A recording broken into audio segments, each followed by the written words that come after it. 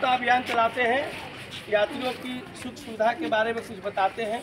जैसे जल्दीबाजी में कर रहे हैं। ह्यूमन ट्रैफिकिंग मानव तस्करी छोटे छोटे बच्चे को बहला फुसला कर एक लेके जाने वाला गिरोह होता है। उन सबसे बचने के लिए हम सबको सतर्क रहने की ज़रूरत है। अब ट्रेन में चढ़ने उतरने के टाइम में चोर चक्के जो होते हैं पॉकेटमार लोग जो होते हैं, सर जाइए। अब पीछे भी खड़ा हो जाइए। चोर चक्के जो होते हैं, वो लोग पॉकेटमारी कर लेते हैं चढ़ने उतरने के टाइम में। तो थोड़ा सा सतर्क रहना है। खिड़की के पास खड़े होकर या बैठ करके जो कोई मोबाइल वोबाइल चलाते हैं कभी कभी इधर विद्यासागर जामतर एरिया ऐसे झपट्टा लेके भाग जाता है। गेट पर बहुत लोग, लड़के लोग खड़ा रहते हैं और गेट पर जो खड़ा रहते हैं उससे होशियार रहना है। क्यों? वो गेट के बगल में खड़ा रहेगा और चलती ट्रेन में ऐसे झपट्टा मार के उतर जाएगा।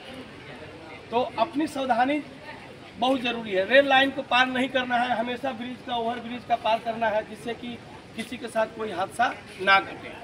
हम लोग का उद्देश्य होता है कि यात्री जो अपने यात्रा कर रहे हैं उस उनकी सुरक्षित यात्रा हो किसी प्रकार को उनके साथ कोई समस्या ना आए। तो आपके लिए उसके लिए सतर्क रहने की ज़रूरत पड़ेगा।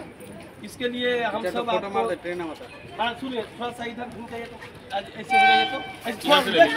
थोड़ा सा वो कुछ नहीं होगा टेंशन हो जाएगा हो जाएगा। ऐसे फ़ोटो लीजिए फ़ोटो फ़ोटो हाँ। ये हम सब आप लोग को जागरूकता करते हैं। और बढ़ाना नहीं है।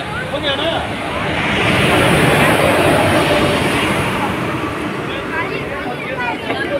धन्यवाद। भेज दीजिएगा। हाँ? चलो।